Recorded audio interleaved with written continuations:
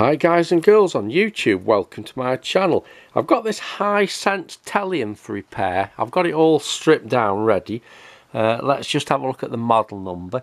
It is a Hisense 40A 5600T, sorry, 5600FT UK. Let's see if we can get that into focus. Um, now, I made a mistake of this actually belongs to somebody I know, and I said it would be a simple problem, uh, which I've actually made a big mistake. Um, but I've actually ordered the backlights for it already now, so we committed already. Um, but if we get this tally going, it'll be a miracle. So let's just turn it over and have a look what the problem is. Uh, the backlight's a fault. It's probably about 18 months, two years old. Uh, let's just turn it over and have a look. So what makes this so difficult to repair? Well, the problem is the screen's actually glued in. Um, and to make it worse, it's actually sat in a recess so you can't get anything under there to actually lift it up. Um, now, I have spoke with somebody um, who's repaired one of these and um, he said he'd never ever touch one again um, because uh, he managed to get the screen out without breaking it. Um, he used some double-sided tape which was supposed to be specially made for gluing screens in um, and about a week later the screen fell out of the telly while the customer was watching it. Now I think I know um, what the problem there might be um, but my problem is now I've got to try and get this screen out before we can think about sorting problems of fastening it back in. Um, now, I was suggested uh, to get one of these ribbons, like they have on CD player, um, and bend the end over like that, and then uh, I'm told that you can just just about slip that under there and go round um, around the edge to try and remove it. So I think first you've got to take this plastic bit out and then that will give us an access uh, to that edge down there. But I've actually got a scrap telly to have a look at so we can look at that first. So this is just an old scrap telly. I've already broke the screen out um, and as you can see it's stuck down by a 3mm uh, double-sided tape so first, before I attempt to get this out, um, I'll just explain what I think went wrong. Um, the person who actually managed to get the screen glued in and it fell out a week later. I'll tell you where I think he went wrong. Now, he's actually sent me this tape for evaluation um, and I've tried it and it doesn't really seem that strong. Um, it says here it's for phone, tablets, cameras, laptops. It doesn't actually say TVs. Um, but I think that's pretty irrelevant because I, think I know what the problem is. This is just double-sided tape um, and in the TV and the scrap one I've looked at um, it's double-sided tape with a foam down the middle. Now what the foam does is when this heats and cools and expands and contracts uh, the foam allows the screen to move about in different directions whereas if you move if you use a tape that doesn't have any foam on, uh, eventually any movement will cause the bond to break. Um, I'm pretty sure that's where he went wrong. But if we just look at this corner here, I'll see if I can demonstrate.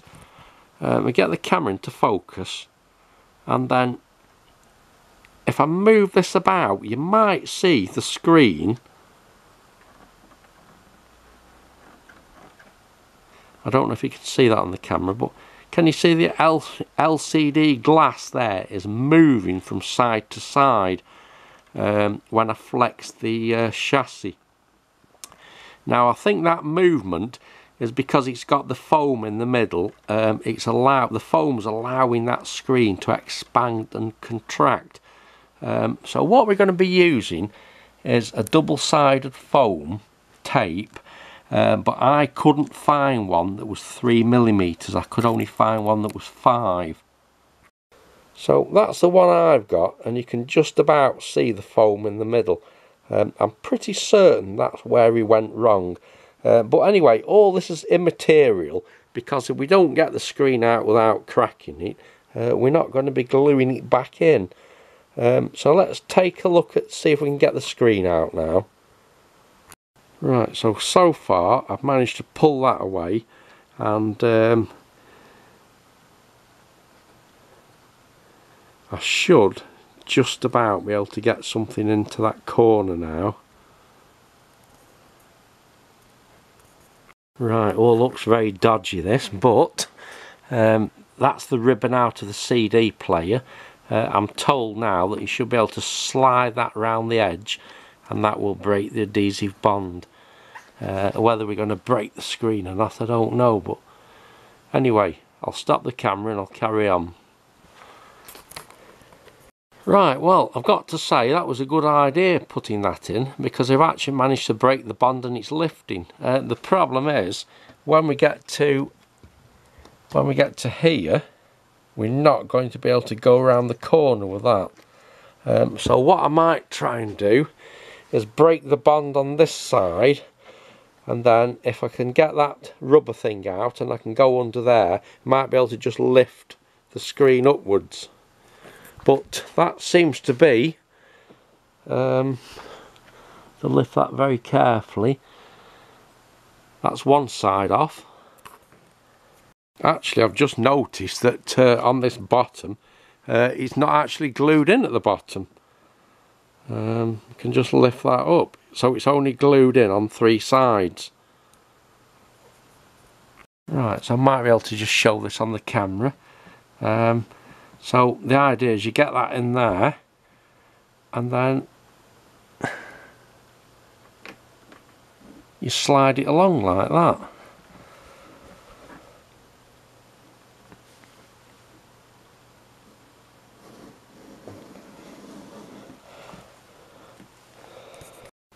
Right, so that's the two edges um, undone. I'm hoping now if we just lift this up like that very carefully, uh, we can break um, the seal at the top.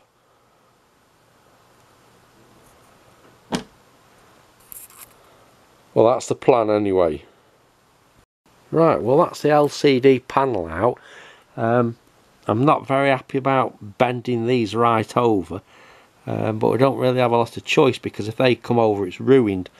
Um, but I have actually managed to get the panel out without cracking it which is a miracle. Right so it looks like these diffusers are sat under that lip. Um, so I think the way forward now is to lift the diffusers up and then pull them towards me like that. Yep that's how that comes out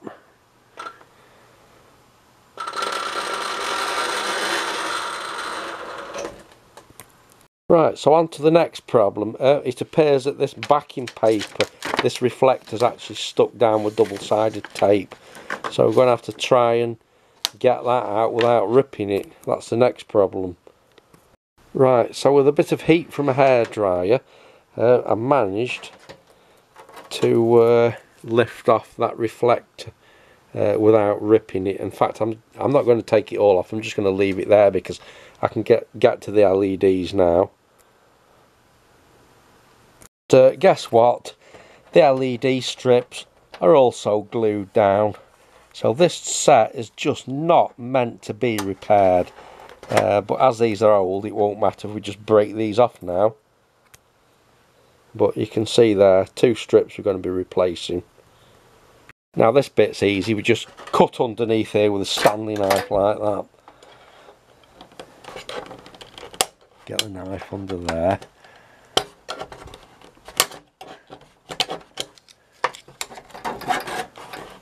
Just work it under the glue like that.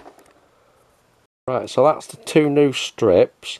Um, I hope these are right because if you look, they're in two different size boxes yet the ones I've took out of the telly um, are exactly the same length. So that's okay, these two strips are exactly the same size, I don't know why they're packed in two different size boxes. Um, but as you can see it's just an aluminium back, there's no, um, well they don't even, they're not even supplied with glue so I might just use double-sided tape to stick them back in. Right, so that's the first one uh, mounted in with just some double-sided tape. On to the next one. Right, so that's the other one in. Uh, I've just put a little bit of double-sided tape uh, in three different positions to hold that back in. Uh, let's just get that back in now. Right, so that's that back in. It looks a bit crinkly where I've stretched it pulling. Um, but there's no other way you can get that out. I don't know what effect it'll have on the picture. Um, but we won't worry about that yet because we've not even got the screen back in without uh, damaging it or cracking it. Um, so let's just uh, carry on. So the next thing to do now is to get all this old tape off these surfaces. Well, you get the idea anyway. It's all going to be peeled off and uh, anything on the back of the LCD panel will have to be peeled off as well. Right, so that's going better now. Just keep pulling it till it all comes off.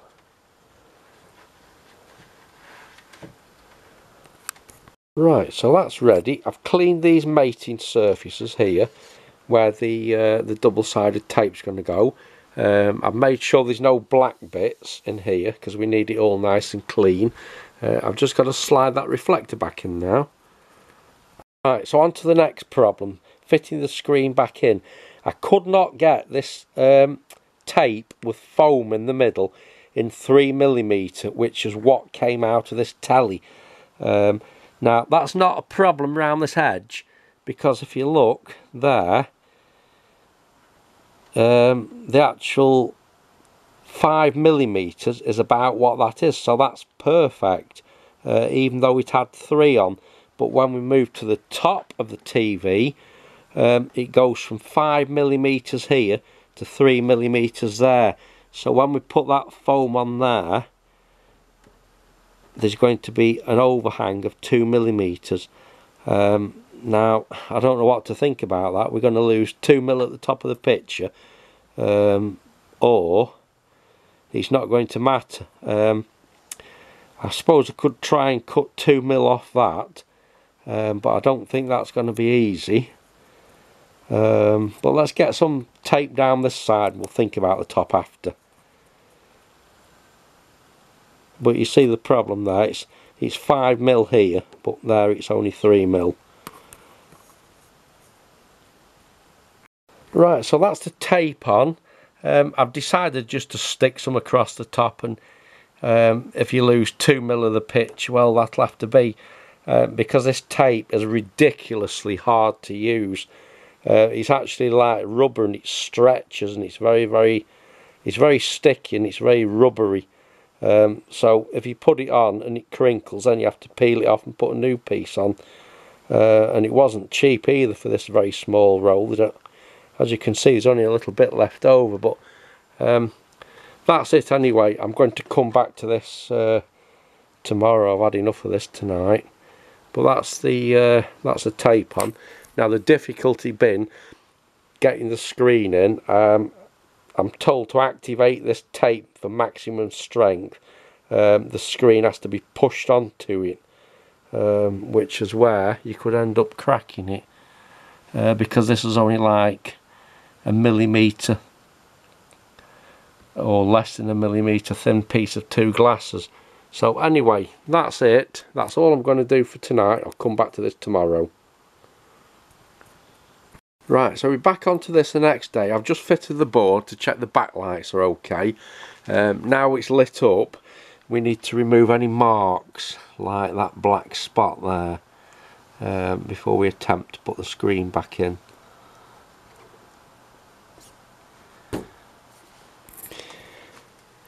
Right, so I guess the next job to do now is to very carefully flip this screen over uh, and remove any of the old adhesive um, from the back. Yeah, so if you look down there, we've still got uh, the strips of the original tape that we've got to remove. Right, so I found the only way you can remove the adhesive from around the screen is with a little bit of gentle heat from hairdryer uh, and just keep pushing it like that with your finger. And, and then clean this surface off with isopropyl alcohol after. Um, but this is proving to be very, very time consuming to get it all off. Right, so a long time later I managed to get all the glue off these three surfaces. Uh, now all I've got to do is clean all the, the finger marks off the screen and uh, we'll think about mounting it back in, see what happens. So, once again, we're using the isopropyl alcohol for cleaning this glass.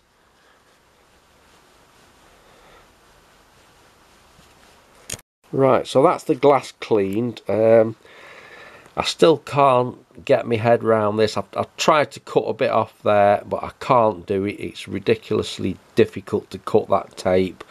Um, so I'm just going to lay the screen on. Uh, as I explained, we've got 5 mil here, uh, but here we've only got 3 mil. Um, so I would imagine we're going to lose 2 millimeters of the top part of the picture, but um, I'm not too bothered because uh, this is turning out to be far too difficult job. Um, time consuming. We're hours and hours into this now. So I'm just going to put the screen in and hope for the best and just see what it looks like. Right, so after one failed attempt, I found that this tape is so sticky that once you put the screen down, you can't move it about to position it. Uh, now, I did only put this top edge in, um, and I've managed, just about managed to get it off. Um, but I'm thinking now I'm going to lay it down from the bottom um, standing on this piece of wood so I can actually move the screen um, in between these two sections and then we'll start laying it down. But yeah it seems to be better fitted from the bottom. Right so that went better. The answer is to lay in uh, this bottom surface first and then when you line it up in these sides then let the screen fall down onto the adhesive. So so far so good. I don't know what it's going to be like but I've managed to get the screen back in now right so time to see what happens now uh, the screen's in uh, I've put the single board in with just four screws um, I might just stand it on its side because I don't want it sitting on these tabs. Um, so I might just stand it on its side. I'm going to put the camera on a tripod and then uh, we'll switch on, see what happens. Um, if there's any bits behind the screen now, it's too late because it's not coming out again. Um, but I did, um, I, I, think I've cleaned it pretty much as best I can. But let's uh, let's get it on a tripod now, the camera, and see what happens. Right, camera's on the tripod, the camera's running. Let's just stand it up. Uh, I haven't got an aerial in at the moment, I'm just going to see what happens first. That's the power on. Where's the on and off button there? Right, here we go. Oh, just make sure the backlight's plugged in, yeah, here we go. Switch on. Hmm. Right, well the set's come on. I'm not sure. We do have like a black like a black uh, band here but um, what I'm going to have to do is I'm going to have to um, put some more screws in then connect it to a signal so we can see what the picture's like but yeah it's looking good so far or looking the best it can be anyway. Right, well the screen's not coming out again so I'm just going to completely reassemble the set now and then we'll put an aerial to it. And uh, that's all the rest of the bits ready to go in. Right, and that is the finished result. That's an absolute miracle that this worked. Um, I don't know what that black band was at the bottom, uh, but whatever it was, it's gone now the TV's uh, the right way up. Uh, and if we take a look at the top where I was worrying about losing part of the picture um, I don't know if you can see that there but we're coming across here and then you can see where the tape dips down there very slightly where it's not level. Um, but it doesn't actually look too too bad. And when you stand further away um, that little band at the top almost disappears. Um, so we've lost a very very minimal part of the top of the picture. Um, but you know you stand two feet back and you don't even notice that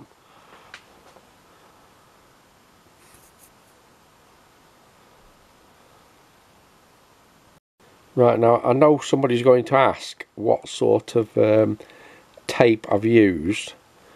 Um, so if you just look at it there, you can see the thickness. Let me just go over to the computer and I'll show you what this is. Right, so that's the tape I've used to put the screen back in. It's 3M, manufactured by 3M, and it's called VHB.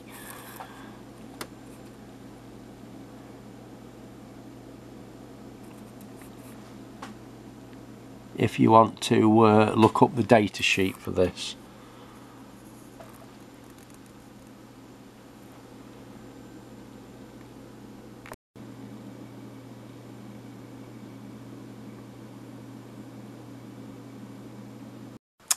So there we go guys and girls on YouTube. Sometimes I even amaze myself. Um, I thought the, chan the chances of cracking this screen were so high um, I didn't think we'd end up with such a good result. Um, but anyway, there you go. We live and learn. Will I be doing another one of these? I don't think so. Uh, it's far, far too time consuming. I mean, this is probably only a £200 tally. Uh, you'll never get back the amount of money that you spent in time actually doing the job. Uh, but uh, it was for, for a friend of mine, so um, you know the time spent's not that important but I don't think I'd want to be doing any more of these for a living. Alright guys and girls on YouTube I'll catch you in the next video then. Many thanks for watching. Goodbye